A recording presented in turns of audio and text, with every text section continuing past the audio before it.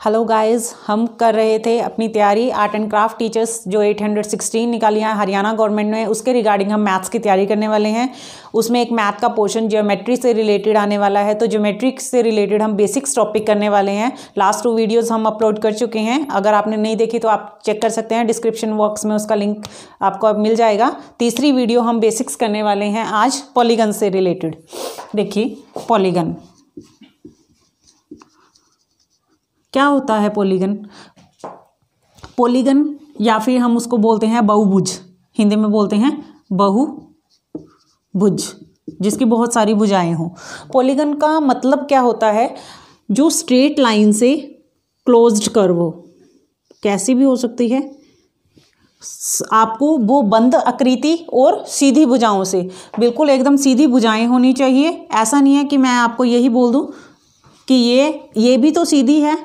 अगर मैं बात करूँ इसकी तो यहाँ पे क्या है, ये एक बंद आकृति तो है बट यहाँ पे ये सीधी बुझाएँ नहीं है तो ये पॉलीगन पॉलीगन नहीं है। ये पॉलीगन है, ये भी पॉलीगन है, क्योंकि ये बंद भुजाओं से बनी एक आकृति है, जो सीधी सीधी भुजाएँ हैं, बंद हैं, और वो आपकी क्या कहेगी पॉलीगन बोलते हैं हम उसे। देखिए अब कैसे कैसे होती हैं पॉलीगन में आपकी पहली टाइप आती है तीन भुजाओं से बनने वाली। जब दो, कोई दो भुजाएँ होंगी, जैसे मर्ज़ी जुड़ जाएँ, वो बंद तो नहीं हो सकती। तो सबसे पहले जो आपकी बंद आकृति बनती है, वो होती है तीन भुजाओं से बनी बंद आकृति। तो सबसे छोटा पॉलीगन जो होता है, वो होता है ट्रैंगल या फिर त्रिभुज। चार भुजाओं से बनी बंद आकृति को क्या बोलते हैं हम? क्वाड्रिलेटर क्या बोलते हैं? क्वाड्रिलेटर या फिर चतुर्भुज। आप इसको लिखते चलें साथ साथ ताकि आप पेपर के जस्ट टाइम रिवीजन कर सकें। क्वाड्री लेटरल क्वाड्रिलेटर कैसे बनेगी? चार भुजाओं से बंद कृति। अब क्वाड्रिलेटर में आगे टाइप्स आ जाती हैं। पहली आ जाती है स्केयर की। स्केयर यानी कि क्या बोलते हैं हम उसे हिंदी में? वर्ग।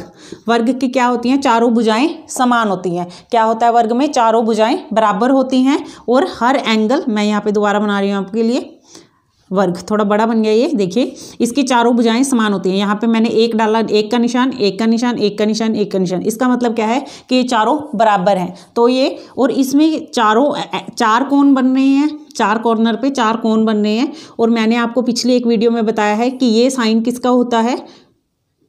ये साइन होता है नब्बे डिग्री का। नब्बे डिग्री यानी कि समकोण।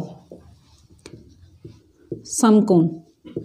मैंने आपको पिछली वीडियो में एक राइट एंगल ट्रेंगल बताई थी, उसको हम बोलते हैं समकोण त्रिभुज। तो समकोण होता है आपका नब्बे डिग्री का कोण। तो वर्ग में चारों कोण क्या होते हैं? नब्बे डिग्री के होते हैं। और क्वाड्रिलेटर से अगर आपसे पूछा जाए कि चतुर्भुज के चारों कोणों का योग कितना होता है, जैसे त्रिभुज के तीनों कोणों का योग मैंने आपको बताया था, एक सौ अस्सी डिग्री, चतुर्भुज के चार कोणों का योग होता है तीन सौ साठ डिग्री। तीन सौ साठ डिग्री। आप यहाँ से भी याद कर सकते हैं, ये नब्बे का, ये भी नब्बे का, नब्बे नब्बे। तो इन चारों को हम जमा करते हैं, जब प्लस करते हैं तो आपके पास आंसर आता है तीन सौ साठ डिग्री। तो कोई भी क्वाड्रिलेटर है, मैं यहाँ वर्ग की स्पेशली बात नहीं करती, कोई भी क्वाड्रिलेटर है, चार कोण है, जिसके चार साइड हैं तो उसके चारों कोणों का योग 360 डिग्री ही होता है। क्वाड्रिलेटर की मैं आपको टाइप बता रही थी, पहली टाइप मैंने आपको बताई, वर्ग। देखिए, दूसरी टाइप दूसरी टाइप होती है रेक्टेंगल या फिर हम इसे हिंदी में बोलते हैं आयत। आयत में क्या होती हैं? दो आमने सामने की भुजाएँ बराबर होती हैं। ये इसके बराबर, इसके सामने कौन सी भुजाएँ होंगी? इसके बराबर। आप यहाँ से भी निशान लगा सकते हैं। देखिए, मैंने इसके ऊपर एक लाइन डाली है, इसके ऊपर भी एक। इसका मतलब क्या है? ये दोनों बराबर हैं और इसके ऊपर दो लाइनें, इसके ऊपर भी दो लाइनें, ये दोनों बराबर हैं। तो ये कौन सी भुजा होगी? आपकी कैसी हो गई ये? कोऑर्डिनेटर इसको बोलते हैं हम आयत या फिर इंग्लिश में बोलें तो हम रेक्टेंगल इसके भी चारों कोण नब्बे डिग्री के होते हैं। देखिए, अगर आपसे समानता पूछे वर्ग और आयत में क्या समानता होती है कि इसके भी चारों कोण नब्बे डिग्री के होते हैं और इसके भी चारों कोण नब्बे डिग्री के होते हैं, और अगर आपसे डिफरेंसेस पूछे तो डिफरेंसेस क्या होते हैं? इसकी चारों भुजाएँ बराबर होती हैं। चारों भुजाएँ क्या होती हैं? समान होती हैं।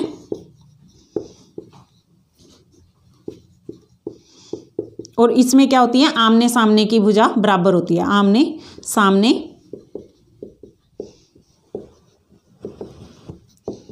की भुजा समान होती है।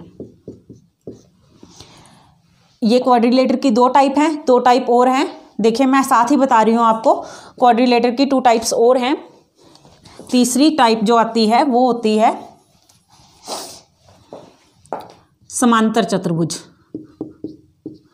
समांतर चतुर्भुज। और एक चौथी है सम चतुर्भुज सम चतुर्भुज देखिए, जो सम चतुर्भुज है, पहले मैं आपको वो बता दूँ। सम चतुर्भुज किसके जैसा होता है? आपके स्क्वेयर के जैसे। देखिए, सम चतुर्भुज मतलब चारों सम समान, चतुर्भुज मतलब चारों भुजाएँ। जिसकी चारों भुजाएँ क्या हो? समान हो। अब आप कहेंगे चारों भुजाएँ तो वर्ग की भी समान थी तो इसको अलग का नाम क्यों दिया गया? इसको वर्ग ही क्यों नहीं कहा गया?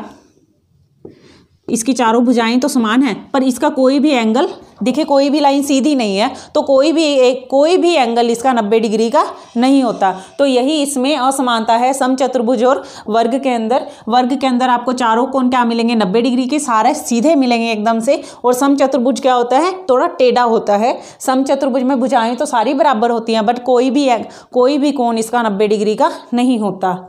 अब बात करते हैं हम समांतर चतुर्भुज की। समांतर चतुर्भुज की समानता हम करेंगे आयत के साथ। देखिए इसकी भी क्या होती हैं? आमने सामने की भुजाएँ बराबर होती हैं। आमने सामने की भुजाएँ बराबर होती हैं, पर ये आयत नहीं होती क्योंकि इसके सारे कोण नब्बे डिग्री के होते हैं और इसका कोई भी कोण नब्बे डिग्री का नहीं होता। तो ये आपका क्या बनता है? ये समांतर चतुर्भुज। मैं रिपीट कर रही हूँ, आप लिख लीजिए। वर्ग, चारों भुजाएँ बराबर, चारों कोण नब्बे डिग्री। आयत, आमने सामने की भुजा बराबर, चारों कोण नब्बे डिग्री। सम चतुर्भुज चारों भुजाएँ बराबर, पर कोई भी कोण नब्बे डिग्री का नहीं होता। समांतर चतुर्भुज आमने सामने की भुजाएँ बराबर, पर कोई भी कोण नब्बे डिग्री का नहीं होता। क्लियर? तो ये टाइप है आपकी किसकी? क्वाड्रिलेटर की।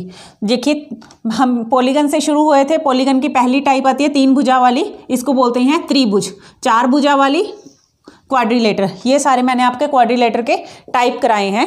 पाँच भुजाओं से बनी बंधाकृति को हम बोलते हैं पेंटागन, पंचभुज। देखिए, पाँच भुजाओं से बनी बंधाकृति को।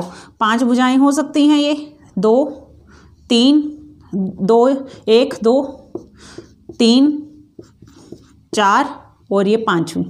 ठीक है? तो एक नंबर की, दो की, ये तीसरी, ये चौथी और ये पांचवी। तो पाँच भुजाओं से बनी बंधाकृति को क्या बोलते हैं हम हिंदी में, इंग्लिश में बोलते हैं पेंटागन। और हिंदी में बोलते हैं पंचभुज। छह भुजाओं से बनी बंधाकृति को। अगर इसकी छह भुजाएँ देखिए, one, two, three, four, five, six. अगर छह भुजाएँ हैं तो इसको इंग्लिश में बोलेंगे हैग्जागन हेक्सागन ठीक है? छठगन भी बोलते हैं इसको, या छठ, छठभुज। इसको क्या बोलते हैं? छठभुज। छह भुजाओं से बनी बंधाकृति को। सात भुजा वाली सतभुज होती है आपकी। One two three four five six ये सेवन जैसे मर्ज़ी, ऐसे कर लीजिए आप थोड़ा। टेढ़ा, ये एग्जैक्ट नहीं बनती ये ऐसी। ऐसे जाके इधर आ गई, ठीक है? एक, दो, तीन, चार, पाँच छः और ये सात, ठीक है? तो ये कैस सात भुजाएँ होगी और सात भुजाओं को क्या बोलते हैं हम? सतभुज और आठ भुजा वाली को बोलते हैं हम अष्टभुज। और इंग्लिश में बोलते हैं ओक्टागन। नौ भुजा वाली को, आप इंग्लिश में याद रखिए, नैनोगन। नैनोगन क्या होती हैं? नौ भुजा से बनी बंधक रीति, जिसकी नौ भुजाएँ हों। और सबसे बड़ी होती है दस भुज बोलते हैं हम इसे, वैसे हिंदी में इसका नेम नहीं आता, बस ऐसे बोलते हैं आपको, दस भुजाओं से बनी बंधाकृति को क्या बोलते हैं?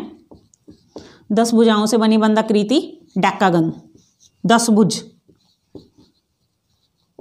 ठीक है? तो ये आपको पता और याद रखने हैं आपने, दो, तीन भुजाओं से त्रिभुज, चार भुजाओं से कॉर्डिलेटर पाँच भुजा से बनी हुई पंचभुज या फिर पेंटागन छः से हेक्सागन और सात भुज से हैप्टा इंग्लिश में बोलते हैं हम हैप्टा या फिर सतभुज ओक्टागन होती है आठ भुजा से, नौ भुजाओं से बनी बंधाकृति नैनोगन और दस भुजाओं से डैकागन ठीक है? तो ये मैंने आपको पॉलीगन्स की टाइप कराई हैं। नेक्स्ट अपडेट के लिए बने रहिए हमारे चैनल के साथ। Thank you have a nice day.